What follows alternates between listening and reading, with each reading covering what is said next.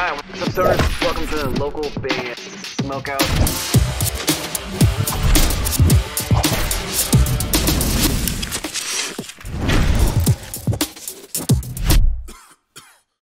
Really, one more time, ladies and gentlemen, What's uh, sorry Nicholas of Amarionette. hell yeah! Yes.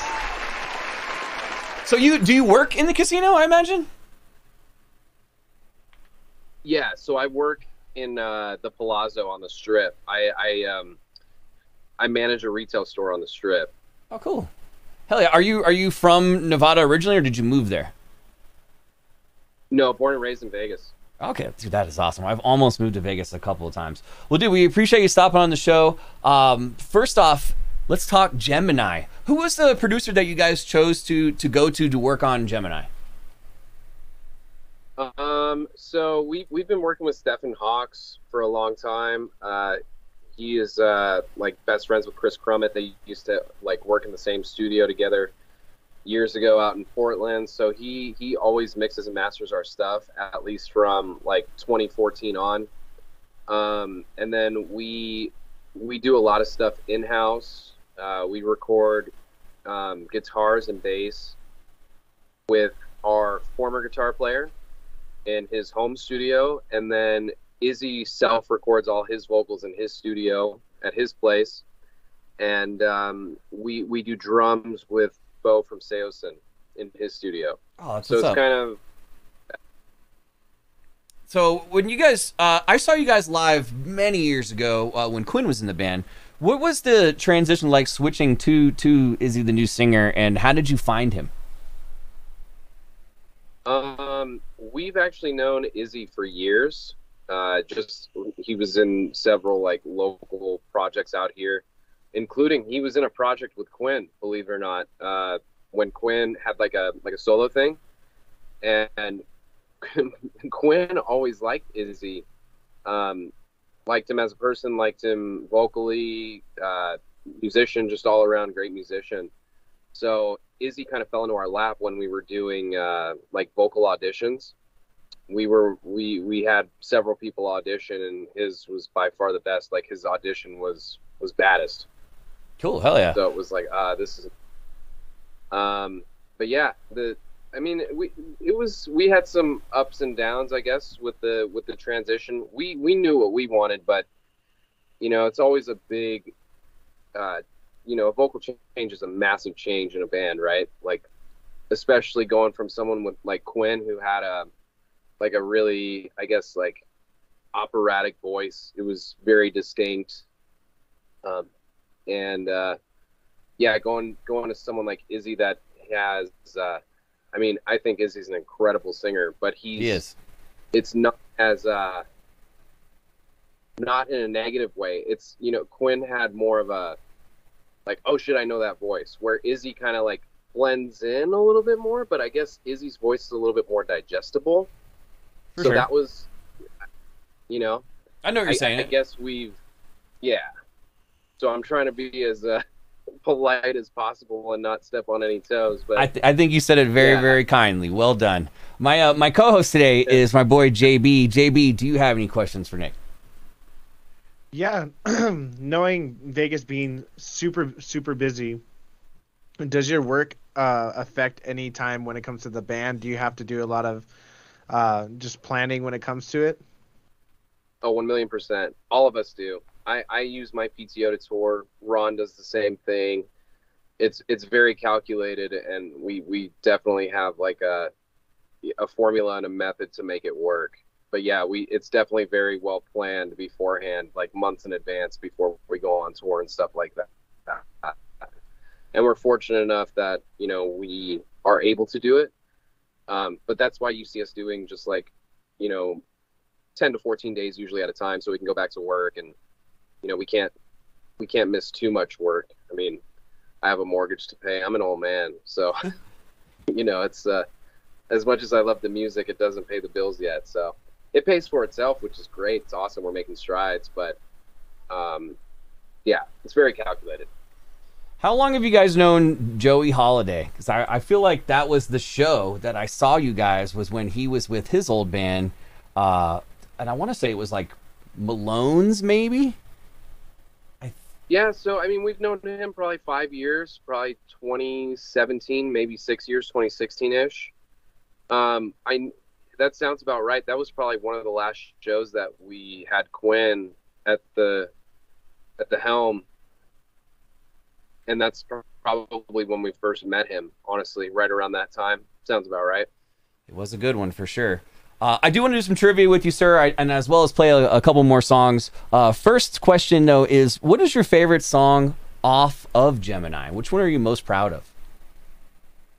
Uh, which one am I most proud of? Uh, moving on, by far. I think it's just the one of the most well written overall tracks that we've ever done, in my opinion. Uh, I just think it's very relatable. Uh, the lyrics are really good. They hit home, and instrumentally, it's just very sound. I feel like it's like a radio alternative rock ballad song. Hell yeah, cool. Um, what uh, what movie or TV show have you seen the most? The most. Where if I ask you trivia on this movie or TV show, you will not get stumped. Movie, I've probably seen Twister like a hundred times. Totally Or, uh, random. Did not see that coming, and, and Twister it is. Uh, let's play moving on real quick. It's fire. Do you remember uh, playing a show recently with Atria and I Met a Yeti? Chat's chat's asking. Atria, yeah, yeah. We just we just played like a couple weeks ago with them.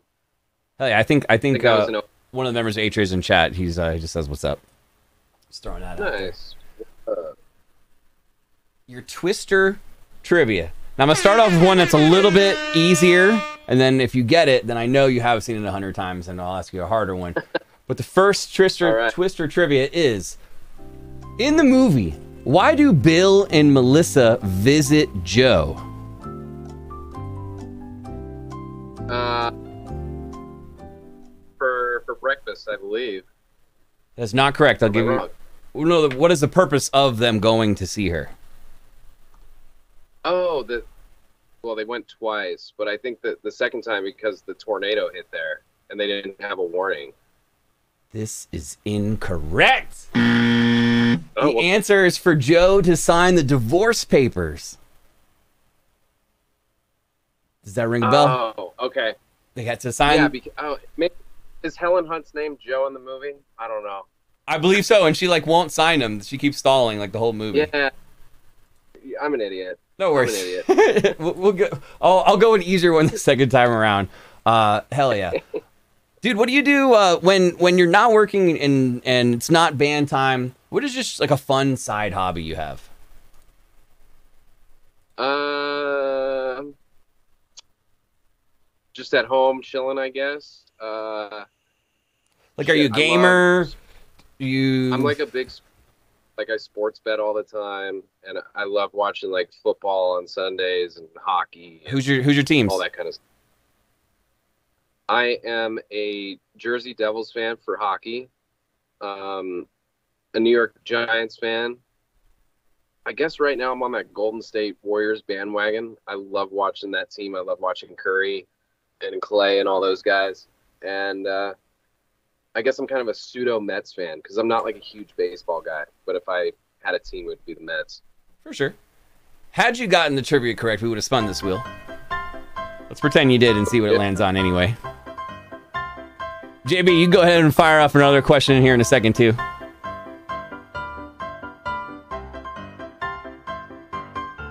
It's going to be a golden ticket. So this means yesterday we had what we call our tournament of champions. 32 bands that have either won a previous stream, like uh, people in have voted on them, or uh, someone has gotten a golden ticket and picked a band. You just got a golden ticket. You can a use it for your own band, so we can put you in the next tournament. We, we'll tag you in everything. It's fairly decent promotion. Uh, or if there's a local band that you're feeling that maybe we don't know, we can put them in. Um, no, I'm gonna have to be selfish here. Well, well done, well done. yeah. This means you're coming off the pole and going. into the Tournament of Champions 16 lineup. Nice. And it's already halfway done. Jesus. I know it goes fast. JB, uh, fire off some more questions for Nick. When you first uh, were growing up and getting exposed to music, uh, what what got you drawn to you know start performing it and doing your own thing? Um, well, growing up, like as a kid, I was always a, like a diehard Van Halen fan, so I was always like super into guitar. Uh, and then Did you ever master Eruption? honestly, when I, uh, maybe when I was younger. Now I never like play that way. I guess. I mean, I I, I do, but I don't. Um, but yeah, what really got me into like the style of music that I guess we somewhat play was was definitely Saosin and Taking Back Sunday and like all those bands really got me into like I guess what we're into now. And then uh you know, somewhat DGD. Like they they were pretty innovative over the last 10, 12 years, I want to say. Um yeah, so I guess that's what got me into like that style. Right on. It's a good answer.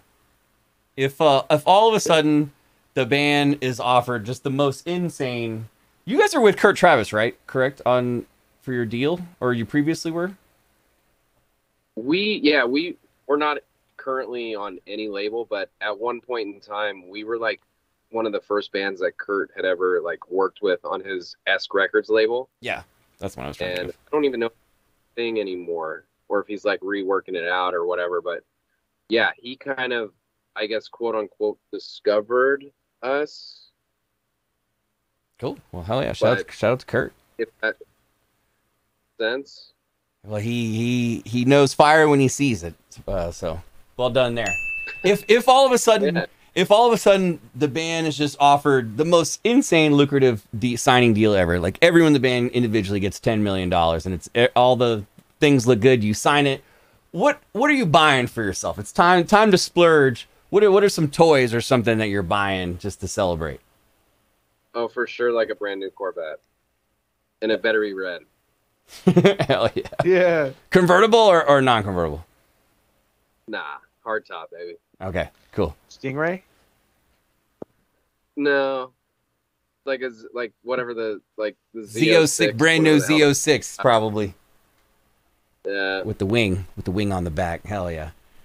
Well, Nick, we don't want to take up too much more of your time, so we'll do just a couple more questions and we'll let you go. Uh, JB, do you have a final question? I do want to ask one more Twister one also. Yeah. Uh, when it comes to your band's promotion, um, are you guys doing anything special that you guys could share to any bands that are starting up right now?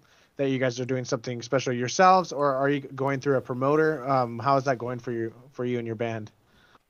Oh man, I wish I knew some like secrets when it came to marketing. Fuck, I have a degree in marketing, and like I feel like I suck. Um, no, I feel like some of these up and coming bands are like much better at marketing. I literally just had like a hour conversation with Andreas about this not too long ago. I don't know if you guys know who Andreas is, Yeah. but he's the man.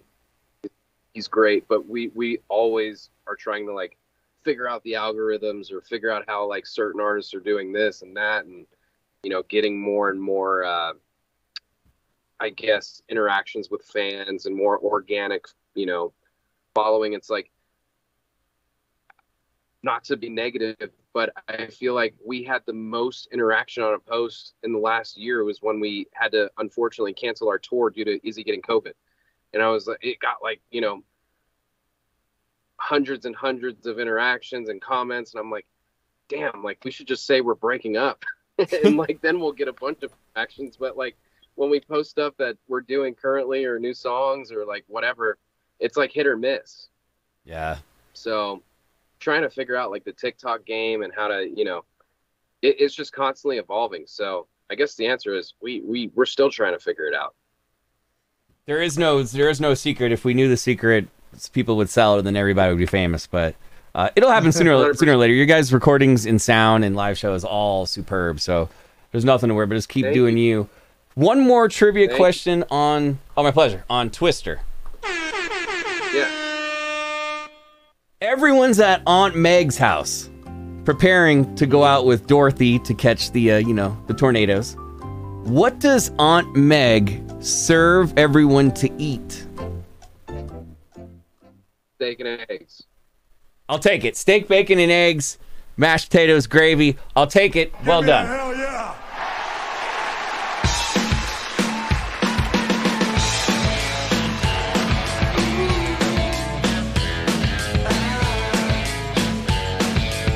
Oh, jeez.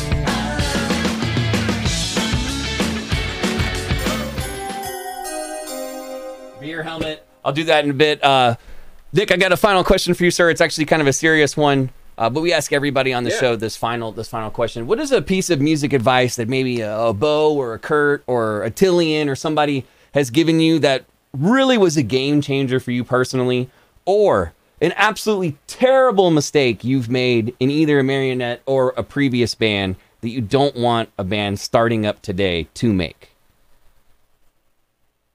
Um, man, that's such a loaded question. I mean, something that uh, Kurt would always say, even like especially when we changed singers and stuff, because he, you know, was once the guy that replaced a singer that was somewhat, you know, I guess quote unquote iconic in a band or whatever.